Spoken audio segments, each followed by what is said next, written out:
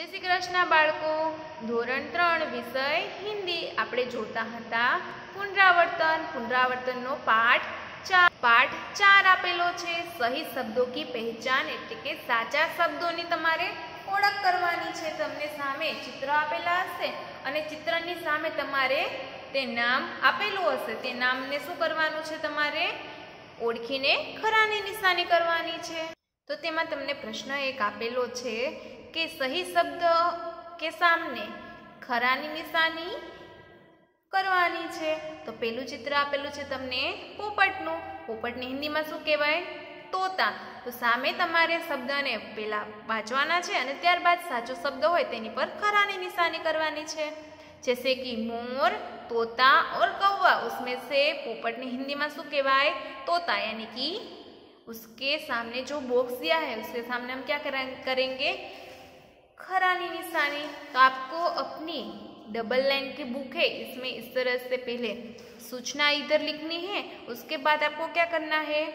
चित्र है, उसके उसके उसके बदले हम क्या लिख करेंगे?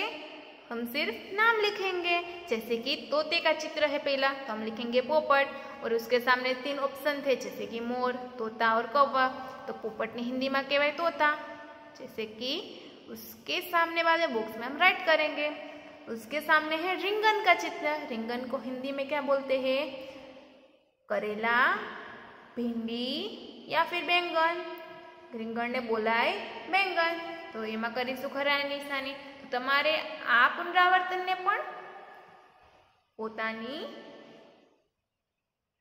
ગૃહ કાર્યની બુકમાં લખવાનું છે.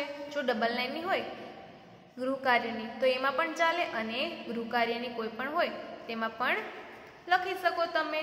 પણ આવી રીતના તમારે ચિત્રની બદલે નામ લખવાનું છે. ત્યારબાદ આપણે આગળ જોશું કે આગળનું ચિત્ર છે ગાયનું. गाय ने हिंदी में गाय के गाय, घोड़ा और बकरी। हम किसमें राइट करेंगे? गाय के सामने।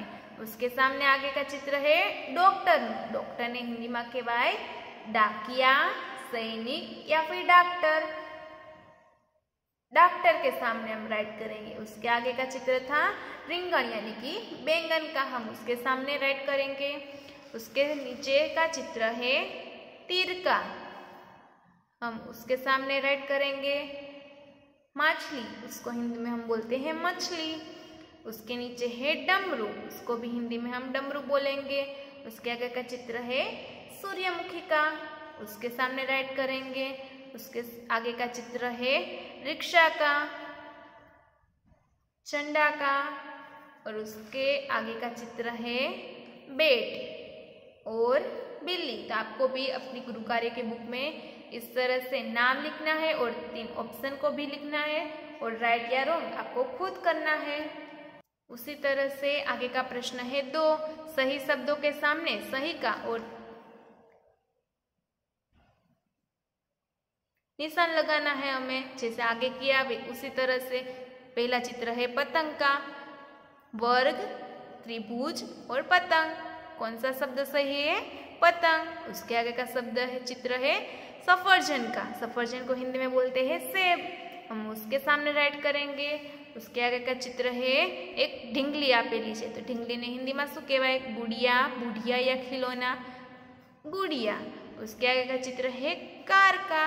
उसके आगे का चित्र है राजा, रानी या फिर राजकुमार। ये चित्र है रानी का। आगे का चित्र है बंदूक का। उसके आगे का चित्र है सूर्य का। उसके आगे का चित्र है अंडा।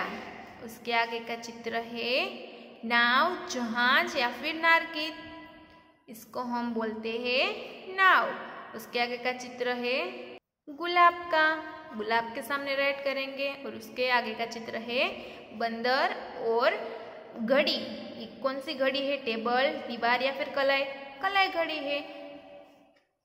तो इस तरह से आपको प्रश्न एक और दो अपने गुरु कार्य के बुक में लिखना है।